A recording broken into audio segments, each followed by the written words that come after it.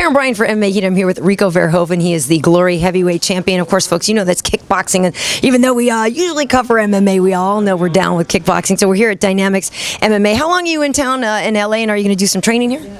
Uh, yeah, I'm gonna do some training tonight, just a little bit, just uh, relax. And I've been in town now for two days. I'm gonna stay for another two days to do some seminars.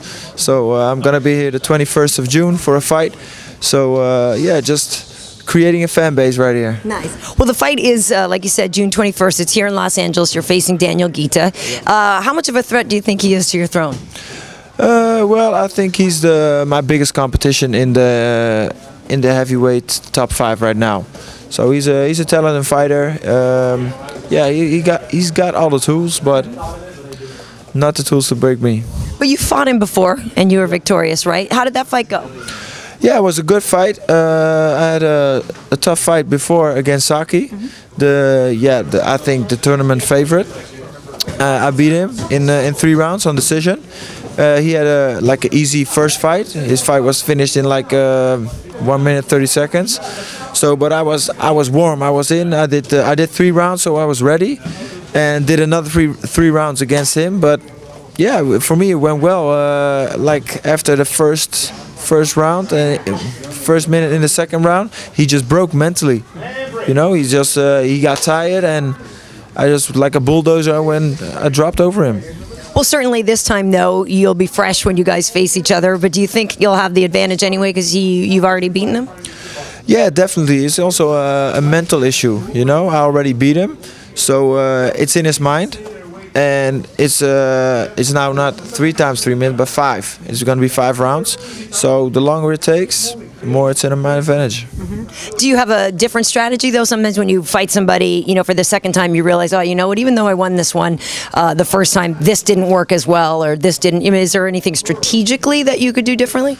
Uh, yeah, of course. You know, you analyze uh, every fight, and after every fight, I have a lot of uh, thing cri- criticism on myself. You know, I say like, why am I doing that in that moment? Why am I doing this? And so for me, I'm always critical on myself.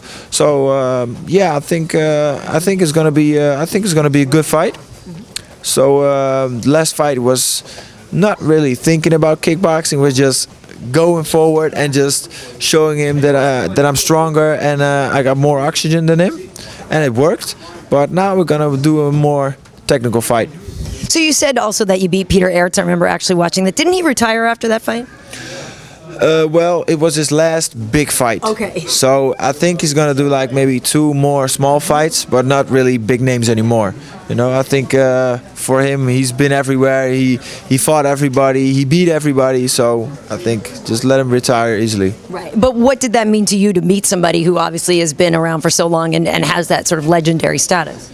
Well, even talking about it gives me gives me goosebumps. You know, it's um, yeah, it's a fun story to tell because he was the one inspiring me to become a kickboxing champion or thinking about becoming a kickboxing champion. So, is I think it's like um, yeah, like 20 years ago, almost 20 years ago, I saw him fight and I saw him become champion for the first time in Japan and I was like, this is what I want, you know, all people going crazy and giving him the respect he deserves. And like now, 20 years later, I took his spot, like in top heavyweight kickboxing, but as a real Dutch native. We of course we have another Dutch, uh, some more Dutch good fighters, but uh, like uh, Saki is is from Turkey. Uh, we have Remy. Uh, we have so many Dutch fighters, but they're all fighting for different countries, and I'm the really Dutch native fighter. So like Peter, I took his place. So it's like for me, it's like still like a movie. So like 20 years later, I'm in the same shoes as him. So how many people can say that?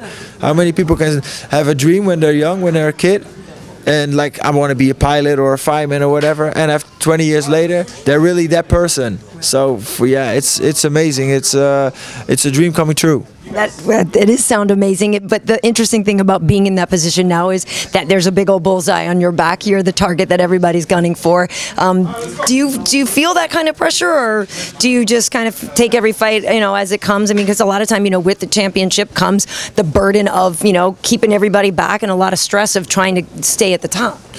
Yeah, of course you you feel the the pressure of other people uh, expecting a good fight of, uh, from you. So they're expecting, oh, you're the champion, so you have to win.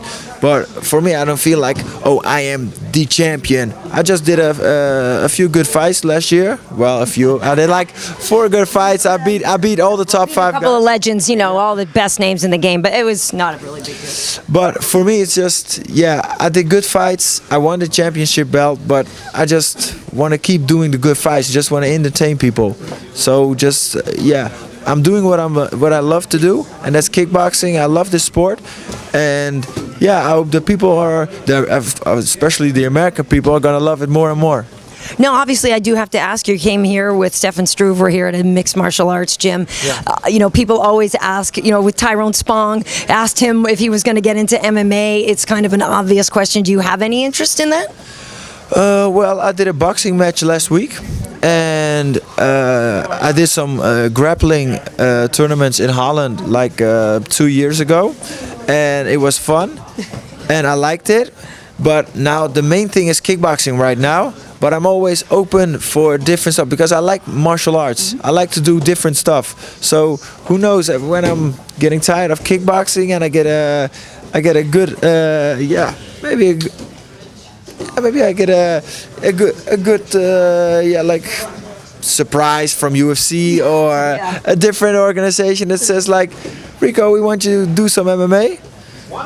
So let's see what the proposal is. You know, you never know. You never know. Well, if you know guys like Stefan and you know Gegard Mousasi as well, yeah. Yeah, yeah, yeah, definitely. Yeah, those guys are great. They're doing great. I'm, uh, I'm happy. Uh, Stefan is doing, uh, doing well again uh, with on his with his uh, health again. So yeah, I hope he's gonna do great. And yeah, let's see what happens. Awesome, awesome. Well, congratulations on the title. And again, you're fighting on June 21st uh, here in Los Angeles. It's going to be a great show, and best of luck to you. Thanks for talking today. Thank you, thank you, appreciate it.